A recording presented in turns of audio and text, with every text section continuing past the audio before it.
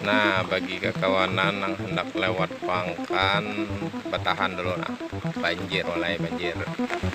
Banjirnya di warung Mama Gina nah. Di muka warung Mama Gina sepanjang 200 meter kira-kira. Itu aja infonya dulu.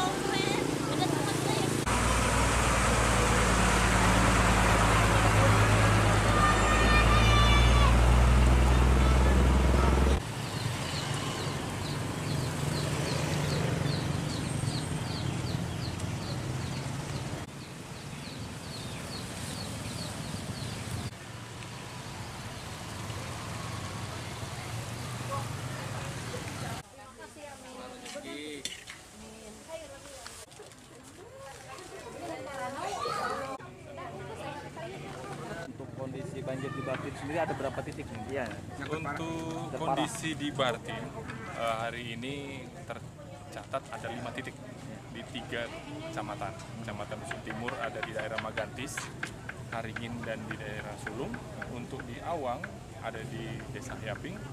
Sedangkan untuk di daerah Kecamatan Pako ada di Kalamus.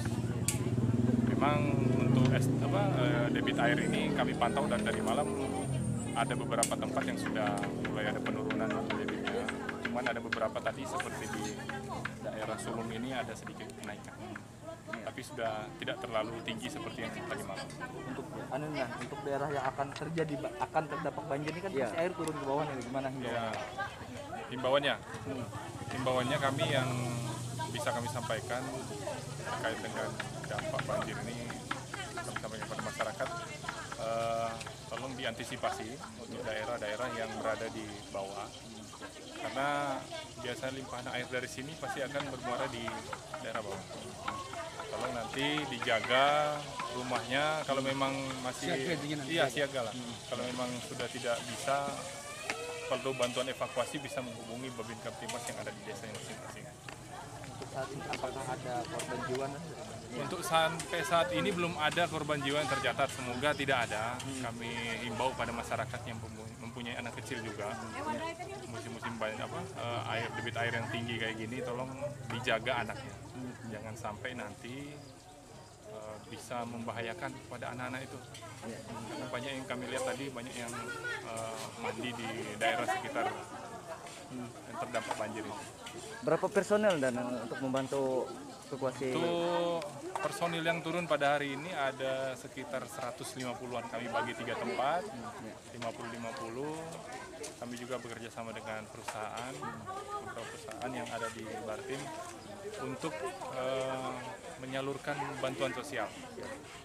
Bantuan sosial kami salurkan kepada masyarakat yang terdampak langsung banjir di rumah-rumah maupun di dapur umum yang tersedia di wilayah-wilayah. Ya. Cukup.